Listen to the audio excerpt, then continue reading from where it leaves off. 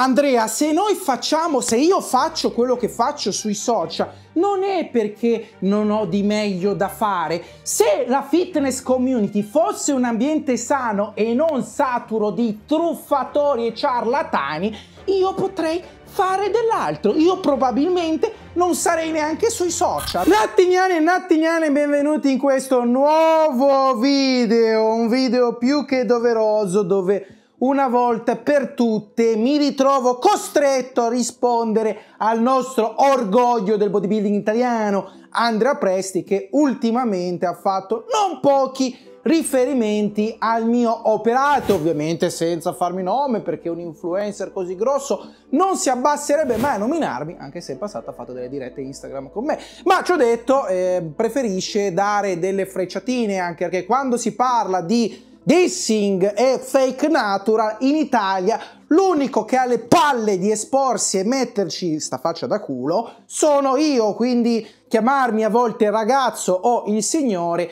poco conta. Questo ragazzo super natural convinto, secondo il ragionamento di questo signore, ciò che determina un risultato finale è solo il tempo con cui tu fai quella cosa. Ci ho detto, mi sono sforzato di guardare le interviste che ha fatto Andrea Presti, le interviste che poi sono dei monologhi perché le chiamo interviste, che ha fatto i nostri amici gintocchiani, da Leo Spolli, ne abbiamo già parlato, a Danny Enrico, a Filippo Soa, mio carissimo amico, nonché anche atleta che ho portato in gara facendolo diventare vice campione di natural bodybuilding di Man Physique ai mondiali di Manchester. Ultimamente ad Andrea sta molto a cuore il tema fake natti, che secondo lui è un tema che non merita alcun tipo di approfondimento. Se uno si dopa, chi se ne frega. Ed è un punto di vista che ci sta da una persona che ha fatto una carriera proprio scegliendo di doparsi, dicendolo pubblicamente.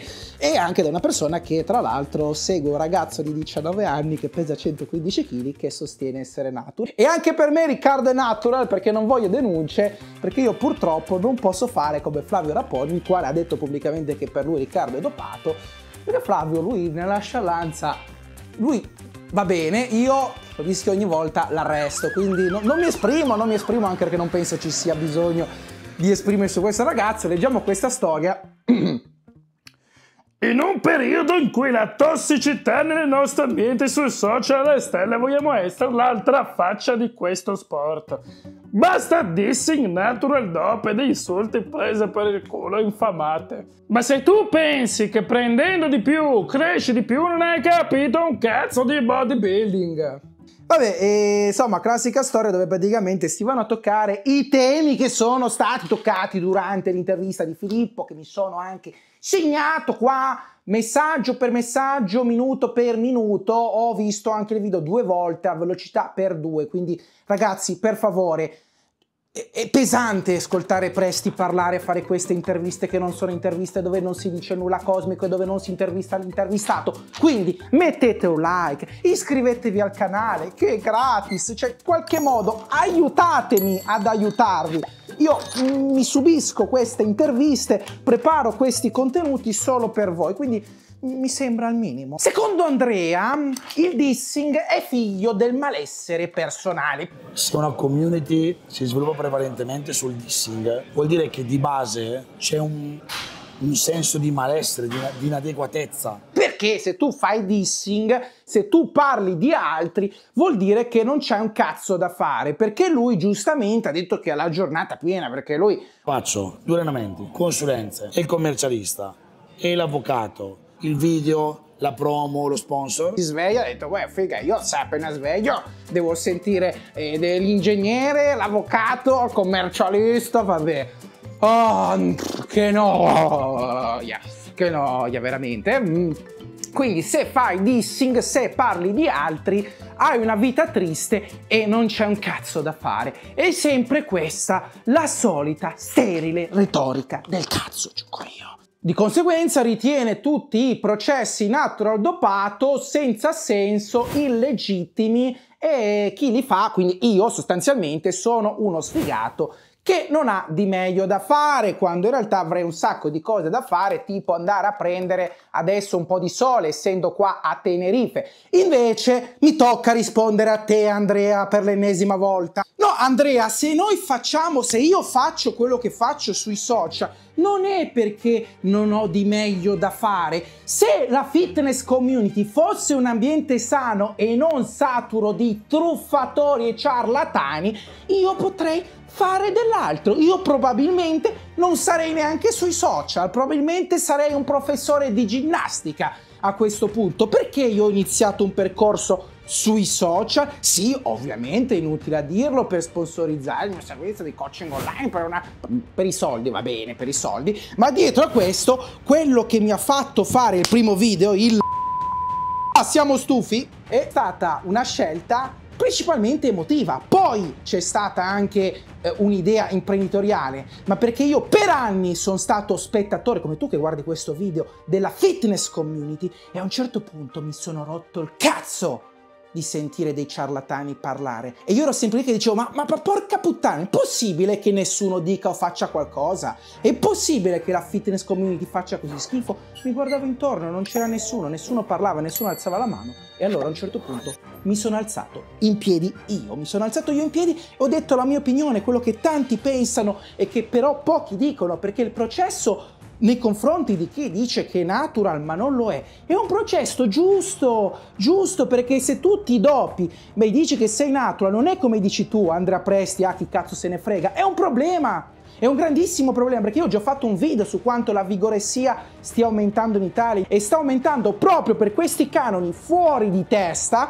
figli dei social figli soprattutto di chi sostiene che certe fisicità siano arrivabili da natural. I ragazzini vedono questi idoli, provano a fare quello che fanno loro, non ci riescono e cosa fanno? Si dopano. Quindi è legittimissimo. Senza aprire il discorso sulle gare natural, che per me ormai non esistono perché anche lì vai in una gara natural ma ti dopi, dici sui social che sei natural, è un problema, è giusto parlarne. Per me le gare natural purtroppo non esistono. Ed è bruttissimo da coach atleta dire questa frase. Per me esistono tanti atleti natural, veramente bravi, ma poi purtroppo chi vince nelle gare quasi sempre non è natural, bisogna accettarlo. Bisogna accettare, io dico anche ai miei atleti, quest'anno porto due classiche e una bikini, è il terzo anno che faccio il preparatore. Io dico, ragazzi, noi facciamo le nostre scelte. Noi scegliamo una federazione natural perché è quella più vicina agli standard. Chiaro, non possiamo andare in IFBB. Ah no, è vero, ci sono anche atleti come lo Spolli che da natural vanno in IFBB. Quindi provare continuamente, caro Andrea, mi rivolgo a te che sei il primo che quando io mandavo frecciatine a te mi scrivevi tu in privato ai tempi non eri così occupato tra commercialista e quant'altro, eri sempre pronto a rispondere in privato. Eri tu a scrivere in privato dicendo se ci sono delle cose, parliamone, chiariamone come abbiamo fatto la diretta. Però Invece adesso sei tu che ti stai comportando in maniera ambigua perché fai dei riferimenti palesemente alla mia persona, quella in cui credo, senza volermi nominare e a prescindere da, dal mio punto di vista personale, sti cazzi, cioè va bene, mi dà fastidio come tu voglia provare a distorcere la visione che hanno i ragazzini, soprattutto del fitness facendo passare noi, persone come me, che poi in realtà fondamentalmente siamo veramente pochi, facendo passare me come il cattivo. Quando io sì, gioco a fare il super cattivo, io mi diverto troppo a fare il cattivo perché so che è quello che la fitness community ha bisogno, perché so che ci sono i cattivi che giocano a fare i buoni. Quindi io che sono buono, sono costretto a fare il cattivo. Ma prima o poi la verità verrà a galla, sta venendo a galla perché io tutti i giorni vedo i direct io vedo che le persone ci arrivano, io vedo i commenti su YouTube, i direct su Instagram, i commenti su TikTok. Io vedo che chi si vuole svegliare, chi vuole uscire dal matrix del fitness, grazie soprattutto a quello che io sto facendo, posso prendermi il merito? Le persone si stanno svegliando, perché vedo che quando faccio dei riferimenti senza fare nomi, i nomi arrivano. Abbiamo fatto un video con Thomas, mio amico, dopati di Gym Talk e nei commenti tanti hanno capito di chi si parla perché la gente si è stufata di farsi prendere per il culo. Il vento sta cambiando, voi avete paura e fate bene. Penso di aver reso tutto. Come sempre ragazzi fatemi sapere nei commenti cosa ne pensate, io vi faccio una promessa. Non so se cambierò il fitness in Italia, però so che il vento sta cambiando e farò di tutto per continuare a combattere nelle nostre battaglie, cercando di dare il mio personale contributo per rendere il fitness in Italia qualcosa di serio, che oggi non è. E spero che tutti i professionisti del fitness diano un piccolo contributo, ognuno con i temi più affini alle proprie personalità. Io faccio questo, a me piace un approccio più strong, dissing, chiamatemi come cazzo volete, c'è chi ha un approccio più tecnico. L'importante è che ciascuno di noi dia un contributo, sia per il fitness che per portare a galla la verità.